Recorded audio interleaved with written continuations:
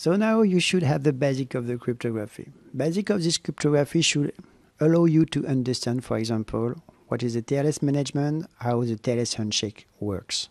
So I propose we go to this example and just see if now we are able to understand what's happened. First, what is TLS? TLS is a transport layer security. It's a cryptographic protocol and it allows authentication and encryption of data between server, device, and web application.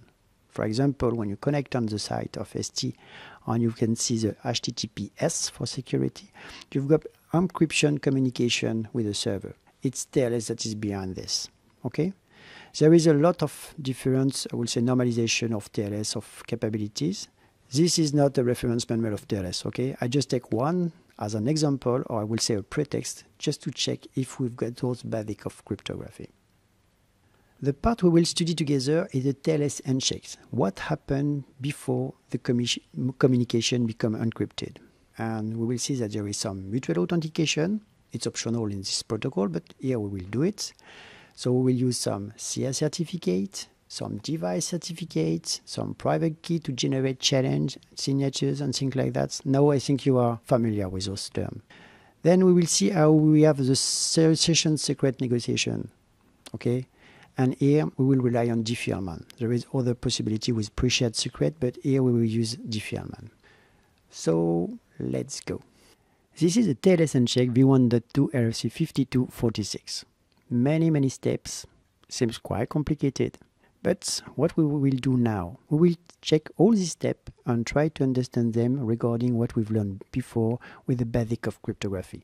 And the purpose is to show you that now you are able to understand what's happened during this handshake.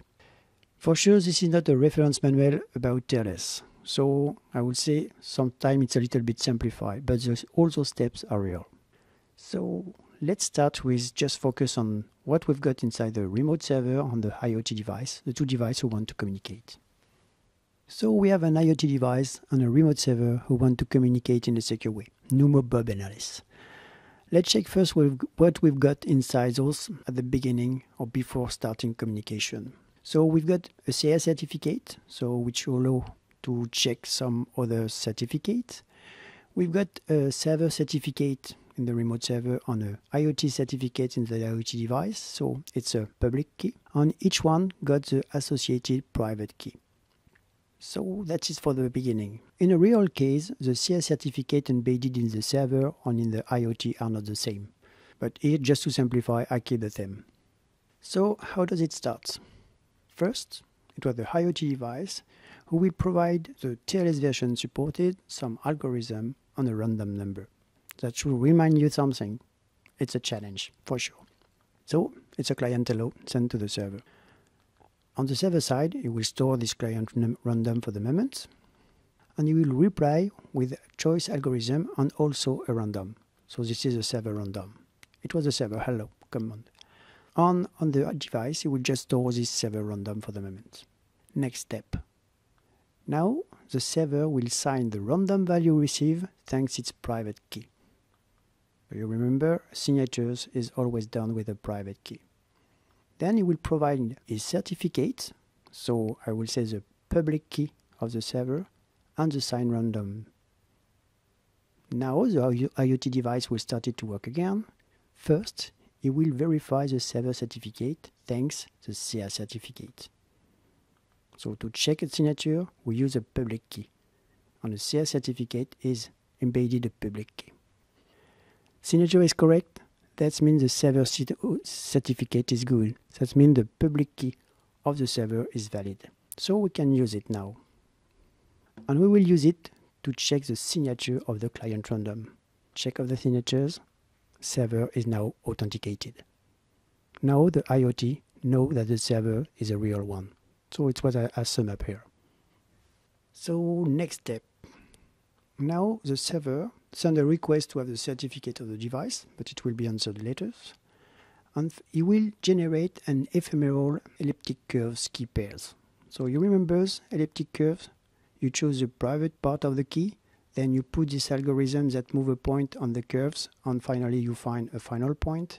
And the public part of the key is this final point plus the generators plus the curves that have been used. So it choose private part of the key, so it was a server ephem ephemeral key. Use the algorithm of SSH keygen, so we move on the curves, and we've got this server ephemeral public key. Then this key, this public key, will be signed. So signatures with the private part of the key. We use the private part to sign the server ephemeral public key. And we've got the signatures. So now the server sends this to the IoT device. So what the device will do now? First, it will check the signatures of the elliptic uh, curve server key. So for that, what you need to check as signatures is the public part of the key. We already received it before in the server certificate and we already checked that it was correct. So this time we, uh, we will just use it. Signature is okay. So the ephemeral elliptic curves public key is valid. We store it and we will use it later. So now on the server side, we've got an ephemeral server private key, an elliptic curve one. On the IoT side, we've got the server certificate and we already check it thanks the CS certificate. We've got a server ephemeral public key and we've got the server random. So now it's time maybe to answer the challenge of the server. So we'll compute the signatures of the server random thanks the private key and we will send the IoT certificate, that means the public key of the IoT device, the server random and its signatures. So on the server side now, we will first check the IoT certificate thanks the CS certificate again. That's good. That means we now can use the device public key. We are sure about this. That is a, a real one.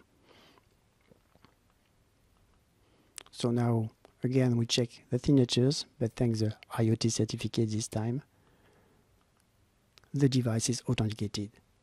Server is sure that it's discussed with a real device. I would say that now we've got the mutual authentication that have been done.